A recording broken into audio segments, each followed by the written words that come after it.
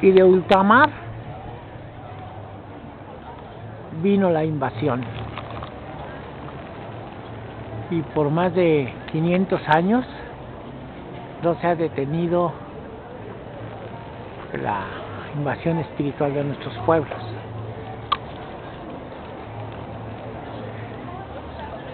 Ahora con una cooperacha, si tú juras que tal o cual comportamiento, te pueden otorgar un certificado para que puedas lograr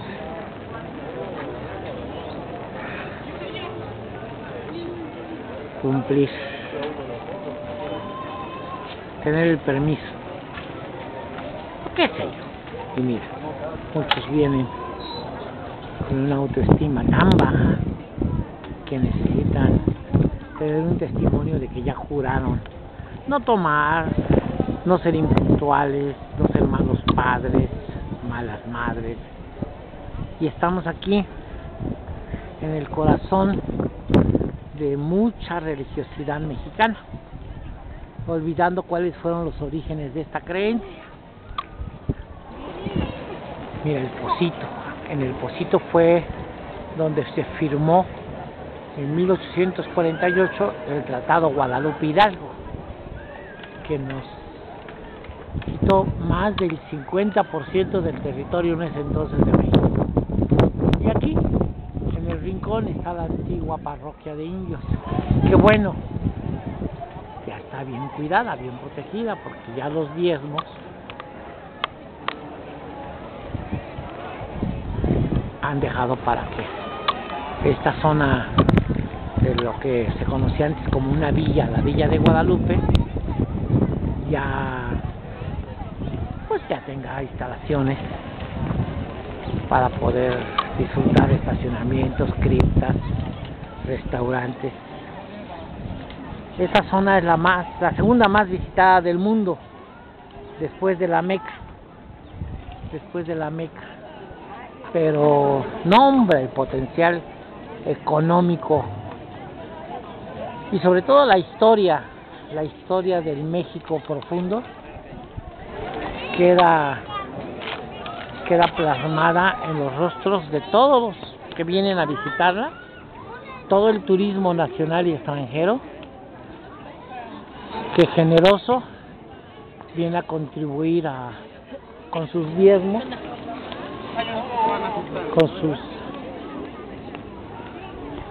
con, con su, sus moneditas por millones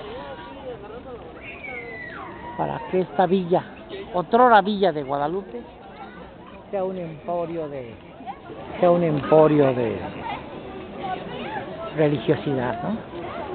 Ahorita vamos a acercarnos a la, al Pocito, la iglesia famosa, de tremendo valor histórico.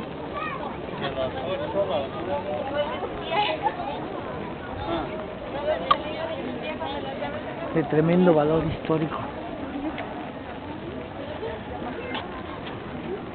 Que aunque millones vienen, pocos conocen y reconocen su significado. Vean ustedes. No, se han restaurado, se le han metido billetes. Los feligreses pueden ver que este lugar es un lugar de turismo religioso de primer nivel a nivel mundial. Así, Capilla del Pocito. Yo de repente tenía duda, tenía duda de si era la Capilla del Pocito porque yo la conocí, la conocí este en condiciones la parroquia de indios, la capilla de juramentos, parroquia de capuchinas, y mire usted nomás.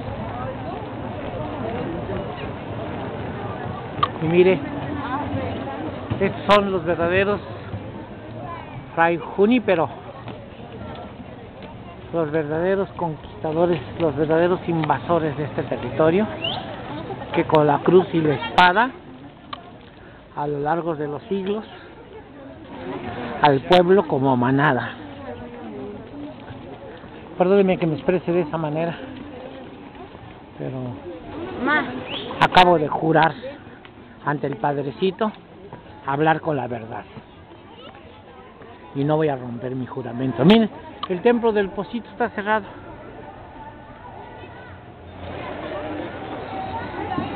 Es decir, nos iremos a otro lado.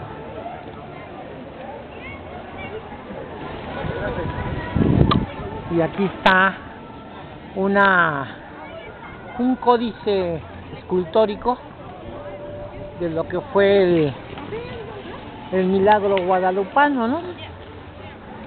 Cuando en el ayate se le aparece a Juan Diego, se da el milagro guadalupano.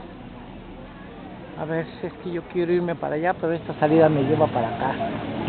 Bueno, ahorita vamos a medio esbozar. Allá a lo lejos se ve la guadalupana. A ver, la guadalupana en el Tepeyac. Sí, a ver si creo que sí podemos acceder. Podemos acceder. Pues yo pensaba de bonito, que. Acceder y ceder.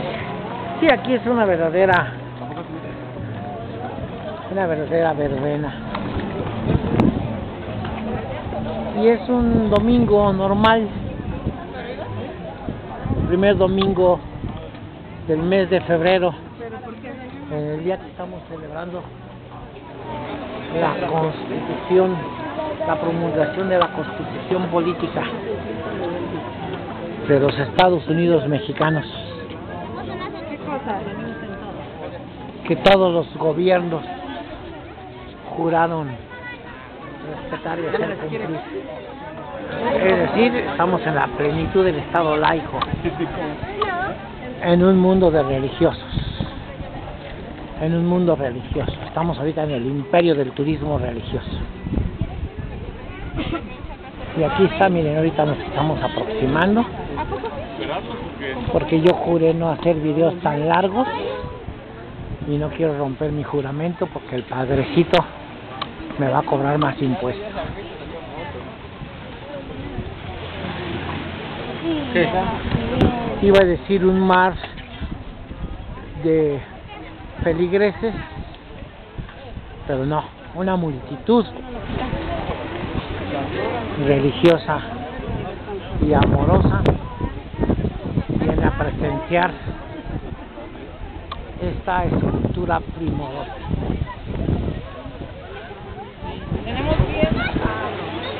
Y ahí está, ahí está, en la distancia se puede apreciar. Bueno, para visionarios de Anáhuac, desde la llamada Villa de Guadalupe, en el corazón del Tepeyac, para visionarios de Anáhuac, 5 de febrero del 2023. Oscar Ramos.